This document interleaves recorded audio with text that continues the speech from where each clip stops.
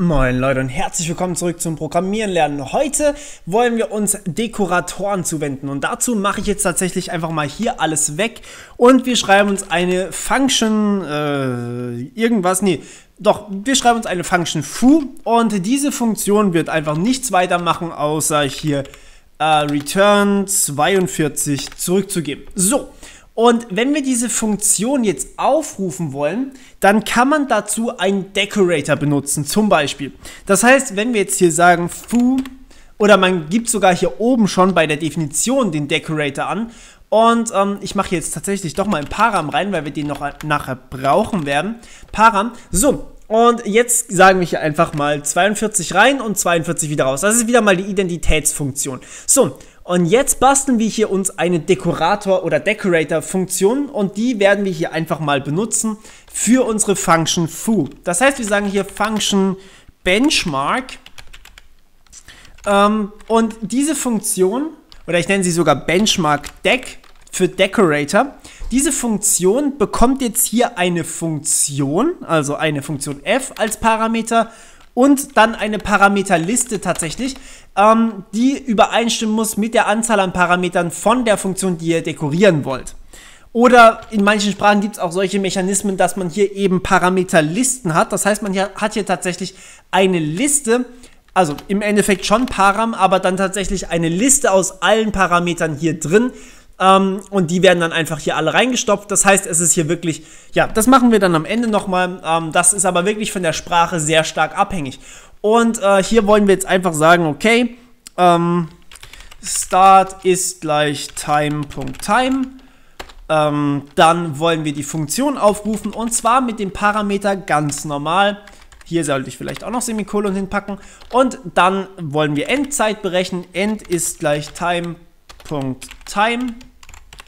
Dann sagen wir diff oder wir geben einfach die Differenz aus. Print äh, start ups, end minus start logischerweise. So, okay. Und was jetzt hier passiert ist, wir ähm, rufen sozusagen eine Funktion f auf. Das heißt, was wir jetzt hier machen und benchmarken die. Das heißt, was wir jetzt hier machen müssten, theoretisch für foo, wäre, wir müssten Benchmark Bodenstrich Deck aufrufen und wir müssten dann äh, gleichzeitig noch foo als Parameter reingeben und dann 42 als Parameter reingeben. So, ähm, und in dem Fall macht es natürlich auch durchaus Sinn. Aber man hat sich jetzt gedacht, Mensch, das machen wir noch ein bisschen cooler. Wir machen das als sogenannten Decorator. Das heißt, wir schreiben, meistens ist es so ein Add ähm, und schreiben hier drüber Benchmark Bodenstrich Deck. Und dann wird jeder Aufruf von foo, also egal wo in eurem Code, ob der hier, ob der hier, sonst irgendwas, jeder Aufruf von foo wird jetzt hier mit diesem Decorator dekoriert. Das heißt, ihr leitet automatisch jeden Aufruf von foo, also das hier, leitet ihr weiter als Aufruf von Benchmark Deck mit dem Parameter der Funktion, also foo, und dem Parameter hier drin.